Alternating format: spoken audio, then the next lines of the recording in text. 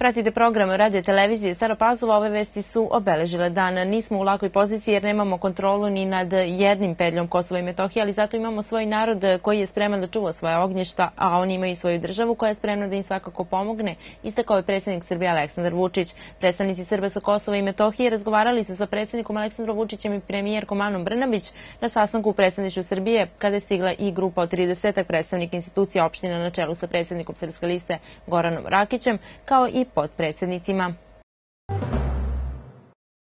Evropski parlament je ogromnom e, većinom od 503 glasa za usvojio rezoluciju o Srbiji kojom se konstatuje napredak zemlje na putu ka pristupanju Evropskoj uniji. Protiv je bilo 85, a uzdržanih 47. Poslanik izvestilac Evropskog parlamenta za Srbiju David McAllister povodom usvajanja rezolucije o Srbiji poručio je da je zemlja napredovala na svom evropskom putu i da postoji široka podrška među evropskim e, parlamentarnim grupama za put Srbije ka članstvu u Evropskoj uniji. Srbija će se pridružiti Evropskoj uniji kada bude spremna, nadam se, pre pre nego kasnije. Ta spremnost zavisi od nastavka reformi i nastavka političkih, dobrih susedskih odnosa i pomirenja, iako razumem da nije lak trenutak u odnosima Beograda i Prištine, zbog odluka donetih od strane Prištine, poručuje Mekalister.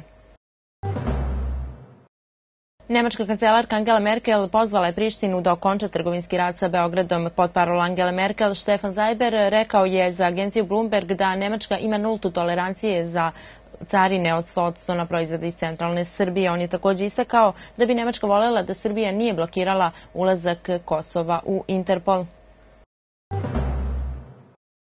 U Kosovskoj Mitrovici održan je protest studenta Prištinskog univerziteta sa privremenim sedištem u Kosovskoj Mitrovici sa skupa po sloganom Evropa sa reči na dela. Oni su pozvali međunarodnu zajednicu da ne zatvara oči pred izgladivanjem i obespravljivanjem jednog naroda, te da stane u odbranu sobstvenih vrednosti. Protest je počeo petominutnim čudanjima. Studenti su na ustima nosili flastere kao poruku da štura saopštenja povodom neprihvatljivih mera Prištine smatraju praktično ćutanjem. Sastanak povodom izrade programa radova na redovnom održavanju sistema odvodnjavanja za 2019. godinu u Vojki biće održan sutra u 11 časova u prostorijama mesne zajednice od vodoprivrednih radova. Razmatraju se svi radovi na kanalskoj mreži, uklanjanje vegetacije sa obala kanala, izmuljivanje kanala, sanacija postojećih propusta i razmatranje potrebe izgradnjom novih propusta, uklanjanje starih deponija, kao i razastiranje starih deponija, uklanjanje šuta i otpada iz kanala i slično. Sastanku će prisustovati predstavnici Galovice koja radi na pripremi ovih radova kao i predstavnici mesne zajednice, a pozivaju se svi meštani da prisustuju i daju svoje predloge. U opštini Stara Pazova tokom ove godine održano je 10 tribina u okviru projekta Imam pravo na zaštitu organizaciji Staropazovačkog centra za socijalni rad. U fokusu tribina bile su dve teme zaštita od porodičnog nasilja i osnaživanje žrtava po izlasku iz nasilja. Meštani svih 10 naselja u opštini Stara Pazova od polovine septembra do kraja novembra imali su priliku da u svojim mestima saznaju kako zaštiti žrtve od porodičnog nasilja i na koji način ih osnažiti po izlasku iz istog. Tribine na kojima su govorili psiholog, socijalni radnici, pravnici, sudija i predstavnici osnovnog osnovnog javnog tužilaštva, policije i medija održane su pod pokroviteljstvom Pokrinjskog sekretarijata za socijalnu politiku, demografiju i ravnopravnost polova i opštine Stara Pazova. Povodom nastupajuće svetske kampanje 16 dana aktivizma protiv nasilja nad ženama u Staropazovačkom domu zdravlja sutra od 13 časova u prostoriji konferencijske sale održat će se i promocije rada i usluga koje pruža Centar za žrtve seksualnog nasilja opšte bolnice Sremska Mitrovica.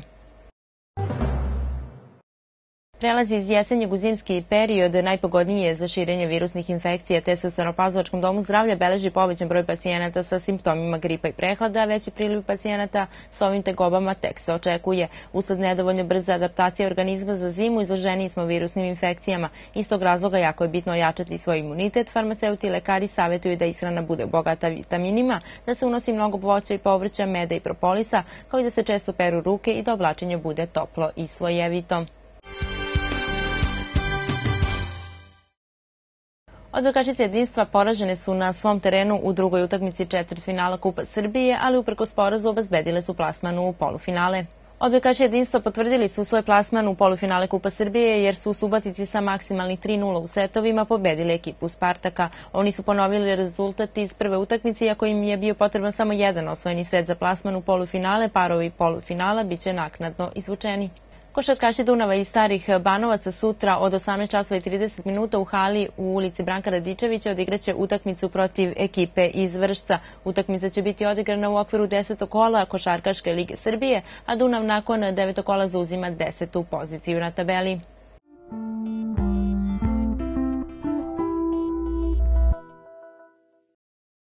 Vreme sutra vedro i hladno. U veter umeren i jak jugoistočni na jugu Banata i u donjem podunavlju povremeno olujni najniže temperatura od minus 10 do minus 5, najviša dnevna od minus 3 do 0 stepeni. Bile su ovo najvažnije vesti za 29. novembar. Hvala na pažnji.